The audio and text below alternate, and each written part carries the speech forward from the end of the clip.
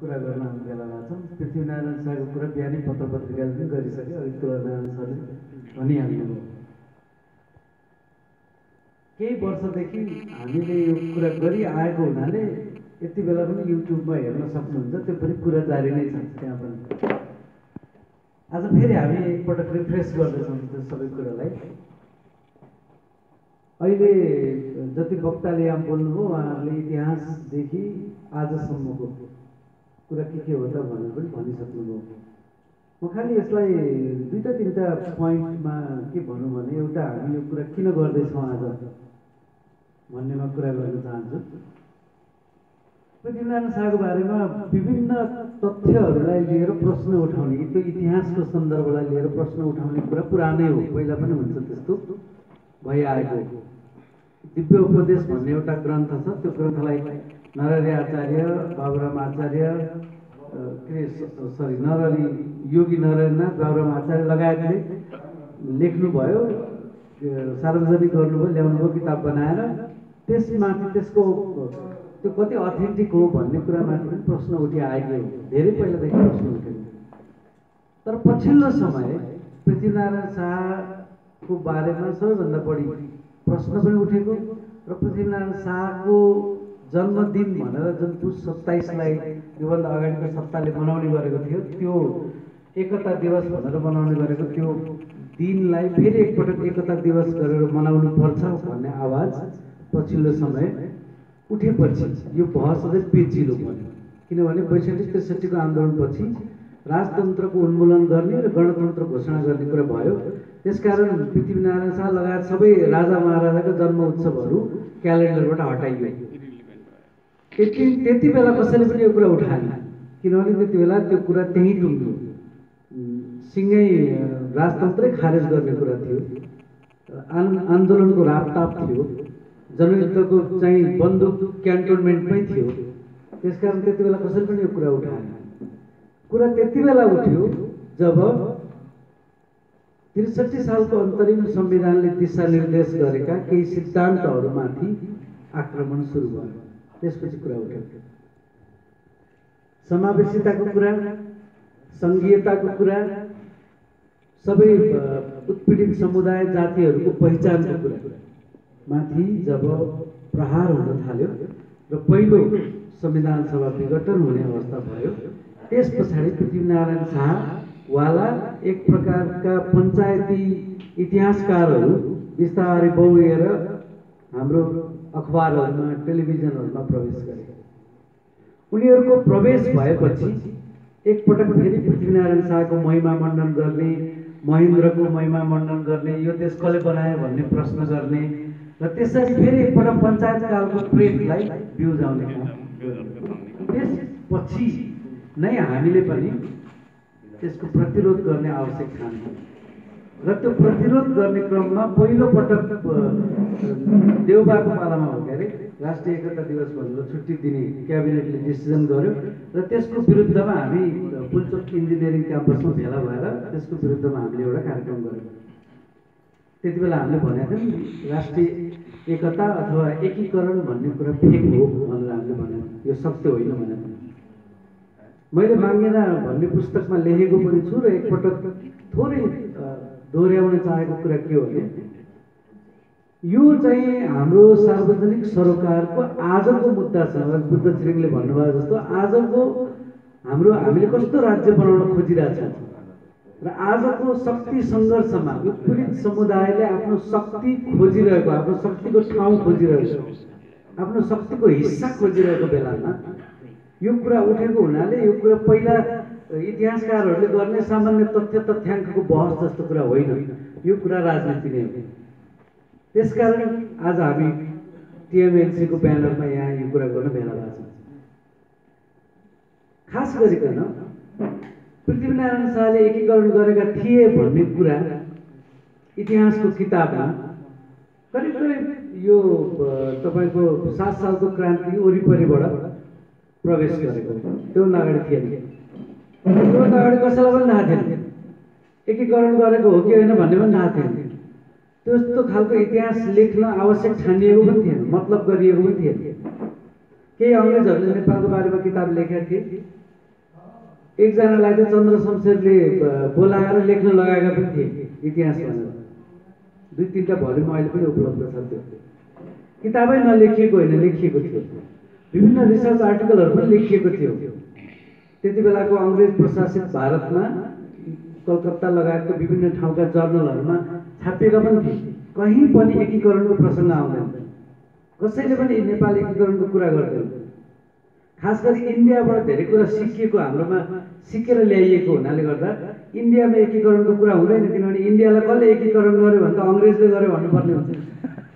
र अङ्ग्रेजले एकीकरण गर्यो भनेको त उनीहरू त मान्नेवाला छैन किन अङ्ग्रेजकै विरुद्धमा त्यत्रो स्वतन्त्रता सङ्ग्राम गरेर त्यत्रो लडाइँ लडेर उनीहरूले चाहिँ विजय प्राप्त गरेर इन्डिया भन्ने देश बनाए त्यसकारण कसले बनायो इन्डिया कसले एकीकरण गर्यो भने अङ्ग्रेजले गर्यो भन्न त चाहँदैनन् उनीहरू तर हाम्रोमा चाहिँ सात सालको क्रान्ति पछाडि राजतन्त्र पुनस्थापित भएको थियो राणाहरू हटे राणाहरूको ठाउँमा शाहवंश पुनस्थापित भयो शक्तिमा शाहवंश पुनस्थापित भइसकेपछि ठिक ठिक त्यही बेलामा नेपालमा आधुनिकताको एउटा पश्चिमा लहर प्रवेश गर्यो।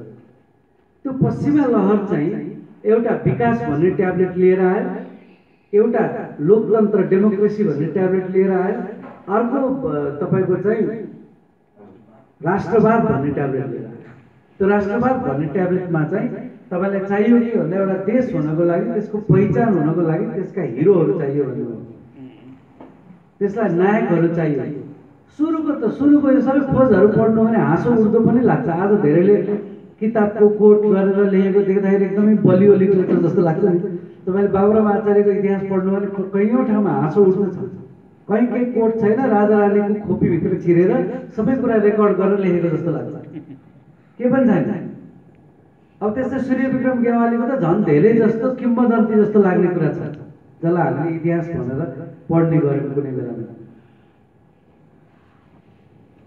यस्तो किन बनाइयो भने? यस्तो नगरिकन एउटा राज संस्थाले बनाएको एउटा मुलुक हो भन्ने कुरा त्यो भाष्य स्थापित गर्न सकिँदैन थियो त्यो भाष्य स्थापित नगरिकन एउटा राष्ट्रमाथि शासन गर्न सजिलो हुँदैन नि त। तपाईँलाई तर्क चाहियो कथा चाहियो त्यो कथा मान्छेले विश्वास गरिदिनु पर्यो।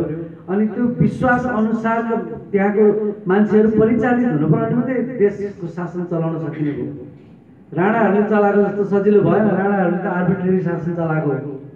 ट्याक्स उठाउ खाउ गरेको त्योभन्दा बढी के गरेको होइन राणाहरूले ट्याक्स उठाउ खाउ गर्न सजिलो थियो। लिम्बुवानलाई अलिअलि स्वायत्तता दिएको थियो। बिस्तारै कस्तै कस्तै कस्तै लिएर आइरहेको थियो। उता डोटी सोटी यता रजौटाहरूलाई अलग्गै ल तिमीहरू गरी खाऊ भनेको पनि थियो। कर उठाएको थियो। त्यो भएको हुनाले पहिलो पटक सात साल पछाडि चाहिँ अब ब्युरोक्रेसी बनाउने कुरा आयो। अहिलेको जस्तो हामी कर्मचारी तन्त्र देख्छौँ त्यस्तो कर्मचारी तन्त्र बनाउने कुरा बल्ल त्यति बेला आयो। बजेट बनाउने कुरा आयो। योजना बनाउने कुरा आयो। योजनाबद्ध विकासको लागि भारतको एउटा योजनाविदहरूको टोली नै आएर यहाँ योजना बनाउन सिकाए बजेट बनाउन सिकाए अनि तपाईँको अमेरिकाको पोइन्ट फोर प्रोग्राम आयो। त्यसले विकासको कुरो लिएर आयो। त्यसले शिक्षाको कुरो लिएर आएर अहिलेको जस्तो यो यही यही हामी जहाँ जुन भवनमा छौँ यहीँ पनि अङ्ग्रेजी नबोले दण्ड पाइन्छ भन्ने खालको सूचना त्यो भनेको शिक्षाको त्यो प्रणाली पनि लिएर आयो। त्यो सबै आउने क्रममा अब तपाईँको चाहिँ हिजोसम्म त राजा रजौटालाई पनि लखाउ भनेको थियो। आठ सालमा राज्य राज्य रजौटा उन्मूलन ऐन लिएर आएछन् अनि त्यो ऐनले चाहिँ अब सब उन्मूलन भयो एउटै धागोमा बाँध्ने भन्छ। त्यो महेन्द्रको देशभरि हिँडेको बेलाको त्यति बेलाको भाषणहरू पढ्दाखेरि के महसुस हुन्छ भने उनलाई यो काठमाडौँलाई मात्रै नेपाल भने बाहिरका देशलाई नेपाल भनेनन् भन्ने चिन्ता छ एउटा। अर्को चाहिँ एकताको सूत्रमा बाँधिएन भन्ने चिन्ता छ भने के हो भने अलग अलग भाषा बोल्ने मान्छे ठाउँ ठाउँमा छन्। उनीहरू अहिले स्वायत्त स्वायत्त खालको समाजमा बसेका छन्। त्यसकारण तिनीहरू अलगै अलगै छुट्टिएर जाने हो नि भन्ने पिर छ। त्यही भएर त्यो पिरबाट बाहिर निकाल्नलाई के गर्ने त भन्दाखेरि त्यति बेलाका विद्वानहरूलाई त्यसको रणनीति बनाउन लगाएको छ र खास गरिकन विदेशीहरू अमेरिकीहरू बेलायतीहरू जापानिज विद्वानहरूले चाहिँ यो एउटा एउटै भाषा माध्यम भाषा बनाएर पढाउनु पर्छ। यसो धेरै भाषा भएको ठाउँमा राष्ट्रिय एकता निर्माण हुँदैन। त्यसकारण एउटै भाषाको हालिमुहाली गराउनु पर्यो। सब बच्चालाई सिकाउनु पर्यो अहिलेदेखि। उनको मातृभाषाबाट बच्चाहरूलाई जुन छुट्टा जस्तो छुट्याइदिनु पर्यो। भनेर सिकाएको छ। उनीहरूलाई सिकाएको छ। त्यही अनुसारको शिक्षा नीति बनाएको छ प्रतिवेदन बनाएको छ त्यो सबै गर्ने क्रममा इतिहासको पनि एउटा न्यारेटिभ चाहियो नि त। कसले बनायो त्यो देश? भन्दा हाम्रा महान पृथ्वीनारायण शाहले बनायो जसको सन्तान आज राजा छ भन्नु पऱ्यो नि त। त्यो भन्नको लागि त्यो कथा चाहिन्थ्यो। त्यो कथैमा गएर हेर्नु भने त केही पनि छैन त्यसमा। धेरै कुरा पुष्टिले नहुने कुरा छ। धेरै कुरा हावादारी लाग्ने कुरा छ। त्यसको कुनै प्रमाण पनि छैन गएको कुराको तर त्यो कथा छ त्यो कथा किन छ भने त्यो कथा नबनाइजेल शाहवंशको औचित्य पुष्टि हुँदैन थियो। शाहवंशले शासन गर्ने कुराको औचित्य पुष्टि हुँदैन थियो। त्यसकारण सत्र सालमा महेन्द्रले कु गर्दाखेरि बिपी कोइरालाको सरकार निर्वाचित सरकारलाई अपदस्थ गरेर अनेक आरोपमा अपदस्थ गरेर आफू सर्वसर्व भएको घोषणा गर्दाखेरि त्यो कुरो सजिलो भयो। धेरै ठुलो प्रतिरोध भएन नि नेपालमा किन भएन? किनभने विद्वानहरू त्यति बेलाका ठुल्ठुला महाकविहरू कविहरू विद्वानहरू इतिहासकारहरू सङ्गीतकारहरू सबका सब यो देश पृथ्वीनारायण शाहले एकीकरण गरेको र राजाहरूले पालित पोषित गरेको भन्ने भाष्यबाट सबैजना प्रशिक्षित थिए त उनीहरूको लागि त सही कुरा भयो नि। जे भयो त्यो सही भयो। त्यसकारण यो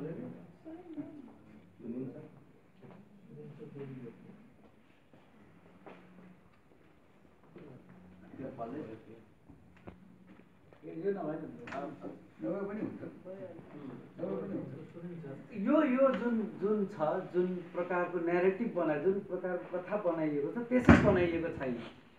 त्यसकारण सत्र सालमा कु हुँदाखेरि सजिलैसित शाहवंशले आफ्नो हातमा सम्पूर्ण शासन लिन पायो।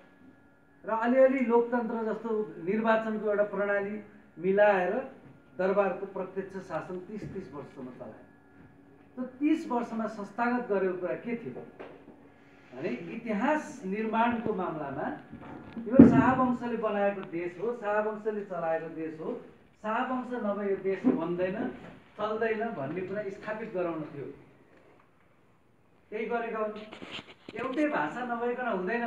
सबै बच्चाहरूलाई एउटै भाषामा सिकाउनु पर्छ भन्ने कुरा स्थापित गर्नको लागि उनीहरूले भाषा आन्दोलन गर्नेहरू यहाँ बाइस साल भाषा बाइस साल भाषा आन्दोलन भन्ने यहाँ काठमाडौँमै भएको थियो। नेपाल भाषामा कविता लेख्नेहरूलाई समान्तर गिरफ्तार गरेर जेल हालेको छ। अरू भाषामा पत्र पत्रिका निकाल्न खोज्नेहरूको पत्र पत्रिका बन्द गरिदिएको छ। मधेसमा नागरिकताको मामलामा बारम्बार आन्दोलन हुन खोजेको छ त्यसको दमन भएको छ। मधेसीहरूलाई नेपाल नै होइन भनेर सेनामा प्रवेश दिएको छैन पुलिसमा प्रवेश दिएको छैन। नेपाली मानेकै छैन मधेसीलाई। त्यो सब कुरा गर्नु किन जरुरी थियो भने त्यो एक प्रकारको एउटा इमेज रचना गर्न यो यो नेपाल भन्ने शब्दसँग एउटा प्रकारको भाष्य रचना गरेर हामी चलाउने हामीले चलाउने यो हाम्रो देश हो भनेर यसरी निर्माण गर्न खोजिएको थियो। कति बेला यसको गोर्खालीले स्थापित गरेको त्यो सत्ताको लय कति बेला टुट्यो नेपालमा?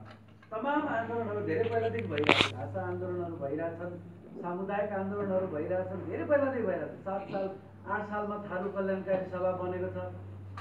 आठ सालमा तराई काङ्ग्रेस गठन भएको छ।